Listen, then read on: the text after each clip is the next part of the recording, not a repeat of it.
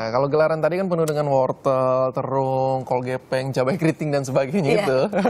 nah, ini berikutnya ini penuh dengan naga, macan dan teman-temannya nih. Iya Peter, dan minggu siang sosok-sosok ini penuhi langit pesisir Kulon Progo Yogyakarta. Kehadiran mereka pun menarik perhatian warga. naga panjang, macan, dan berbagai sosok lainnya melayang-layang di langit pesisir Gelagah Kulon Progo minggu siang. Mereka hadir meriahkan Festival Layang-Layang Nasional 2014. 35 klub pecinta layang-layang ikut serta. Tak hanya dari Jogja, peserta juga hadir dari berbagai daerah lainnya.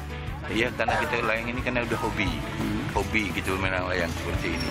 Harapan saya semoga dengan ada festival yang seperti ini eh, daerah-daerah juga bisa berbuat yang sama. Eh, Mungkin sebagai contoh buat kami-kami dari daerah.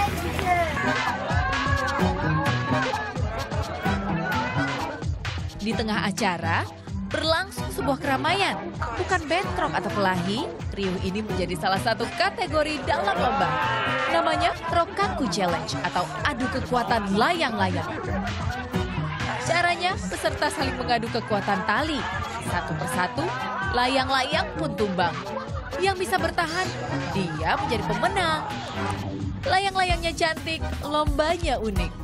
Ratusan warga pun terpikat untuk melihat.